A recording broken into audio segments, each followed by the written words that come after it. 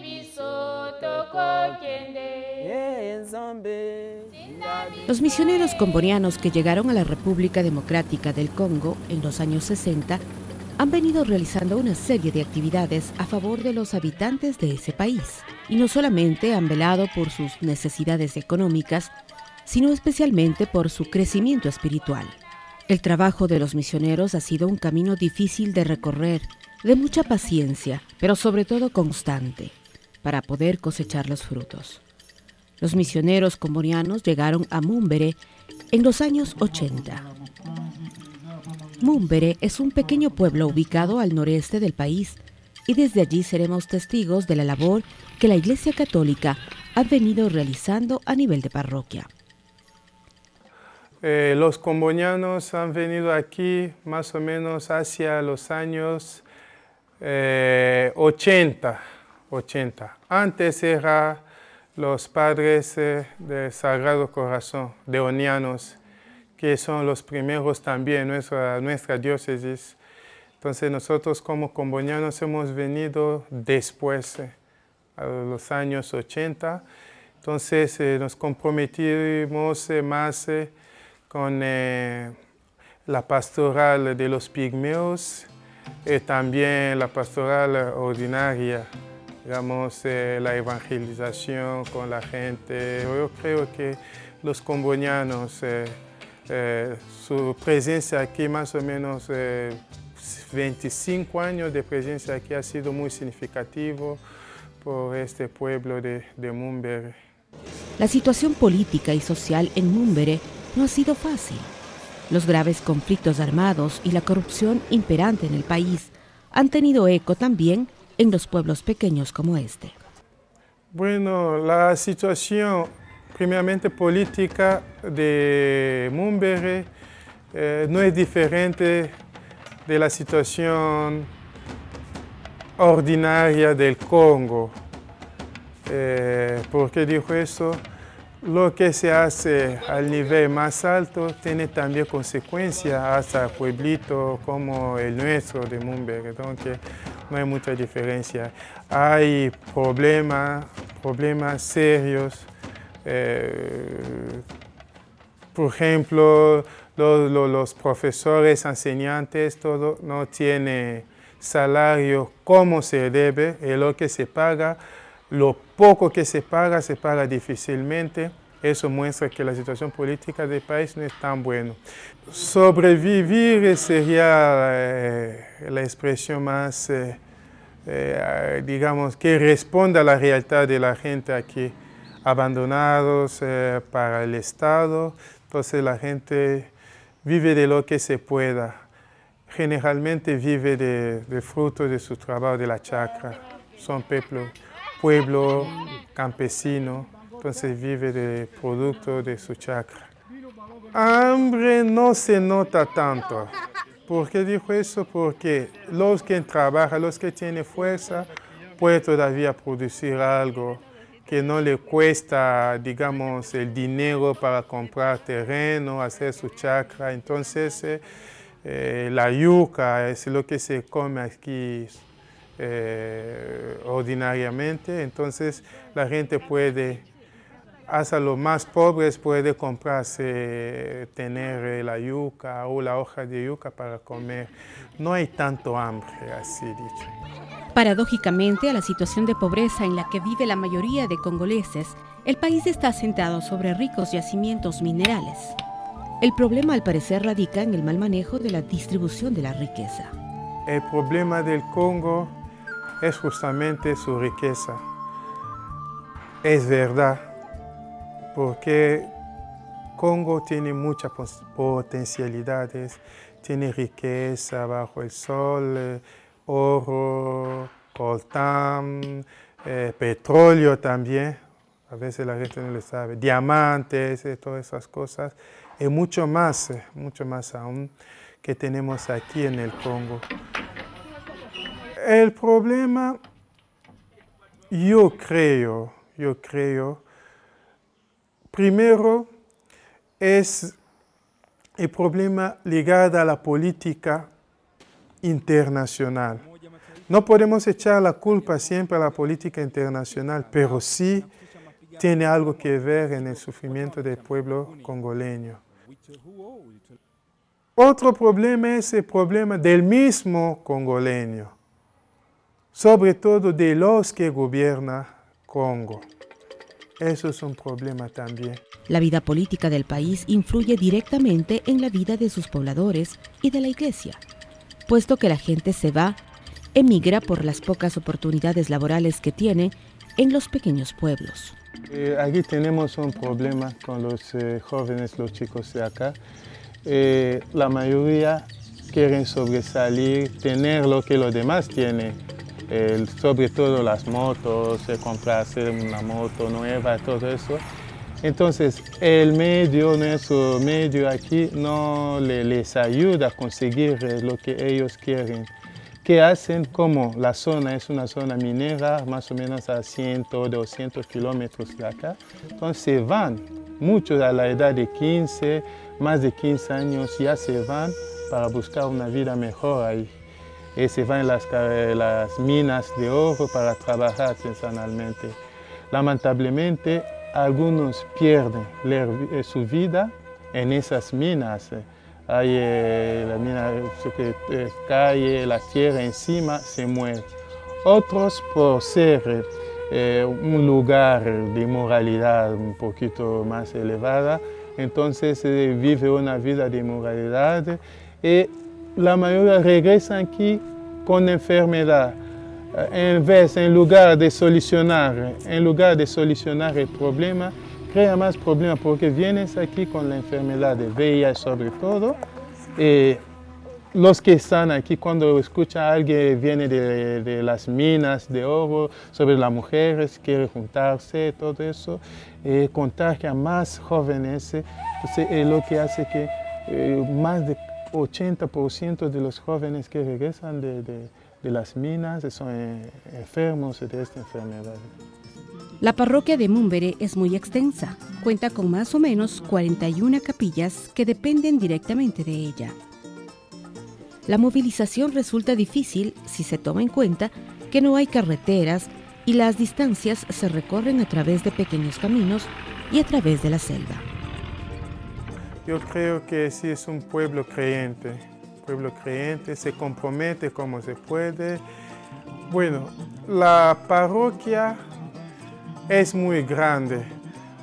al norte tenemos 50 kilómetros, eh, al sur 35, noreste 40 eh, más o menos kilómetros. Es muy grande con más o menos 41 capillas o pequeñas iglesias que dependen del centro de Mumberaki.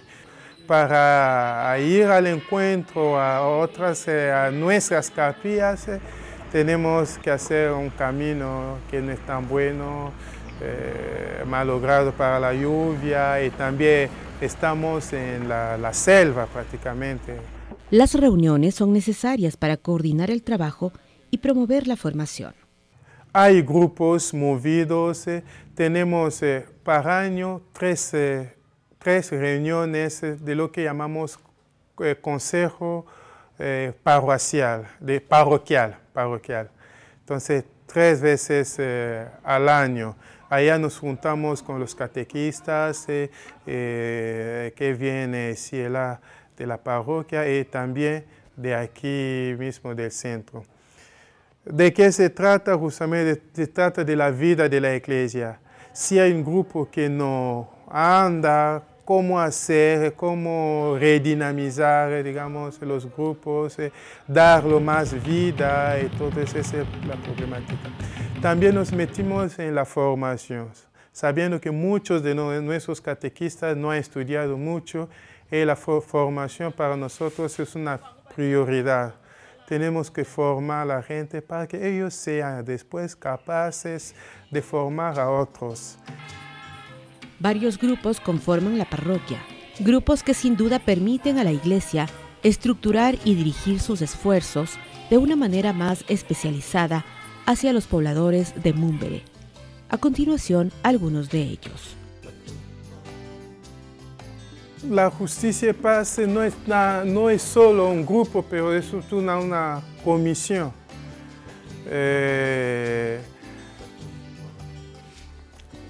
que no está bien entendido para mucha gente. A veces la gente piensa que esta comisión siempre se pone eh, a la oposición contra eh, los que no gobiernan aquí, representantes del gobierno aquí, a veces con la policía. ¿Por qué? Porque cuando hay problemas, se viene decir a esta gente de la Comisión Justicia y Paz, que aquí hay un problema. Por ejemplo, han robado aquí, han maltratado a alguien. Entonces esta comisión se reúne y ve cómo Iglesia da respuestas a esos problemas que se, se presentan muchas, varias veces, eh, sobre todo en nuestro pueblo. Hay tracasería militares, hay policía que tracasa, molesta a la gente, hay robo, hay situaciones que necesita justamente la intervención de, de la iglesia. También hay formaciones. Se fue cómo cuidar el medio ambiente, árboles, todo, qué relación que tenemos, eh, que eh, la población debe tener con el medio ambiente. Eso también se trata de esta Comisión Justicia y Paz. El Centro Cultural, siguiendo la, la, la, la idea del inicio, era para ofrecer a este pueblo una biblioteca, eh, una sala a donde se puede divertirse, tener momentos de diversión, eh, de juego. Eh, también había una radio, radio de, de, la parroquia, que facilitaba la comunicación con las capillas un poquito más lejanas del centro. Eso era la idea inicial del centro cultural. Los jóvenes también tienen un espacio en donde pueden compartir y prepararse para enfrentarse a los retos de una sociedad cada vez más cambiante. Sus reuniones son una vez a la semana. El desafío es prepararlos para que sean útiles no solamente para la iglesia, sino también para la sociedad. aquí tenemos eh, eh, más de tres grupos eh, de la parroquia grupo de los jóvenes, aquí tenemos los que se llama Grupo K, Quisito Anuarite, tenemos también Bilenguea Muinda, hay también grupo de Legión Junior, así se llama, eh, tenemos también eh, los acólitos, sirvientes de la misa. Entonces nos reunimos eh, hoy día solamente para una pequeña formación después eh, compartir las experiencias que ya estamos eh, terminando el año iniciático. Eh, lo más importante, lo que hacemos es sobre todo la formación. la formación es lo más importante en nuestra parroquia, sobre todo en este año. En nuestro plan pastoral tenemos la formación como base. después hay lo que se llama buenas acciones, eh, visitar a los enfermos, eh, eh, también convivir juntos, juntos. La lectura de la Biblia es un aspecto que no se descuida en esta parroquia. ¿Qué importancia tiene su estudio dentro de la vida de la iglesia? Es un grupo muy bueno. Su trabajo, su, su, apostolado especial, su, su primera preocupación es justamente la, lectura de la Biblia, eh, entrar más en profundidad en el conocimiento de la Biblia y desde esto salir a evangelizar, entender la Biblia, ayudar a los demás a entender, entender la Biblia. Se reúne, compartir eh, sobre lo que dice la Biblia. Eh, es un grupo muy, muy bueno. Muchos de eh, catequistas que tenemos aquí eh, salen de este grupo, son preparados, formados en este grupo y después eh, vienen como catequistas para los niños de la catequesis. El propósito de la presencia de la Iglesia no se cumpliría en Múmbere y en todo el país si no estuviera manifestado en el amor y el servicio a los más pobres. Tenemos también Caritas, eso, la, tiene sus reuniones, eh, focaliza su, su, su pastoral eh, en la ayuda de los pobres. Caritas quiere decir trabajar con amor, sin esperar un salario. Servir libremente. Hemos escogido ayudar a los más pobres, a los enfermos, a los hambrientos, sin esperar una ganancia. Desde el centro atendemos las comunidades de base. En el centro ayudamos a unas 30 personas. En la mayoría de los casos que acompañamos, les hace falta lo más indispensable, que es una casita. Necesitamos también el dinero. Nuestra petición es la ayuda económica para poder construir casas. En Mumbere, que es el centro de la parroquia, existen nueve comunidades de base y más o menos unas 112 en total. Hay parroquias, eh, capillas que tienen cuatro, otros cinco, otro una, porque es una pequeña, pequeña capilla con poca gente. Entonces, eh, el problema es que como la gente vive de la chacra, a veces le cuesta regresar eh, a tiempo para participar. Y lo que hace que la participación en las eh, comunidades de bases es muy, muy débil, muy débil, eh, debido justamente a ese trabajo de la gente que no le permite reunirse al tiempo. Pero sí, más o menos estamos luchando para reanimar, eh, dar más vida a nuestras comunidades de bases. Además de estos grupos, la parroquia cuenta con otras actividades y comisiones, por ejemplo, una asociación para la fabricación de aceite de palma, formación de orquestas dirigidas por jóvenes que tocan música no tradicional, entre otras actividades. Aquí tenemos eh, como misión una casa que se llama la Casa de los Voluntarios y allá vive oh, una señorita, eh, Irene, más o menos es como referencia de los laicos combonianos. Pero aquí en Mumbere como parroquia no son todavía, los que participan en ese grupo no son todavía eh, laicos misioneros combonianos, aparte de la, señorita Irene. Ellos son mm, cenacles grupos de oración. Donc, eh, están llevando una formación que les prepara justamente a devenir más adelante laicos como misioneros combonianos. Nosotros somos cenáculos misioneros combonianos de la parroquia de Mumbere. Empezamos esto en el año 2006. Entonces estábamos animados por una hermana que vino de Kinshasa y se llama Irene. Y entonces también fuimos animados para vivir en este carisma de Comboni, de salvar el África por el África. Así, cumpliendo nuestra misión, así como nuestra espiritualidad, nosotros vamos a menudo a visitar, hacemos apostolado yendo a sensibilizar a la gente en las comunidades de base con la animación misionera.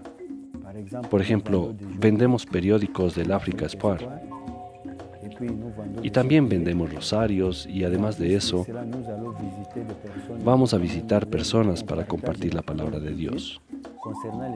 En cuanto a las actividades, nuestra actividad consiste en ir con frecuencia llevando enfermos al hospital, visitando a los enfermos en el hospital. Les damos alguna cosa.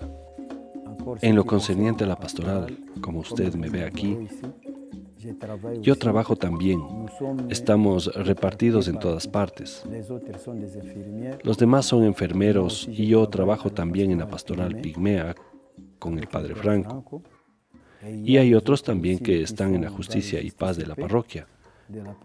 Y hay otros también que están en las comunidades de base de la parroquia. Con 112 comunidades que atender, en la parroquia es muy difícil visitarlas a todas, en especial por las grandes distancias entre ellas. Se prefiere visitar a las más grandes por una razón. al menos eh, la idea de nosotros es visitar una vez eh, cada mes eh, las capillas más grandes, que tienen más gente. ¿Por qué? Para que ellos después vayan a, los caseríos, todo eso, a ayudar ahí. Entonces, puede ser que una capilla lo visitamos una vez al año, puede ser, pero a los demás grandes le visitamos con mucha frecuencia. No es para que son más importantes eh, que los demás, eh, las demás capillas, no, sino es una metodología para ayudar a todos. Como no podemos eh, llegar a todos con la misma frecuencia, entonces aprovechamos de los más grandes para que ellos también vayan apoyar a los más pequeños que tienen sus sectores. Sea la política, los militares, la corrupción, la falta de educación, todos estos factores han convertido al Congo en un país que necesita el apoyo de la comunidad internacional. La Iglesia está haciendo su aporte y los frutos se están cosechando poco a poco para satisfacción de los habitantes de Mumbere, esta pequeña ciudad al noreste del Congo.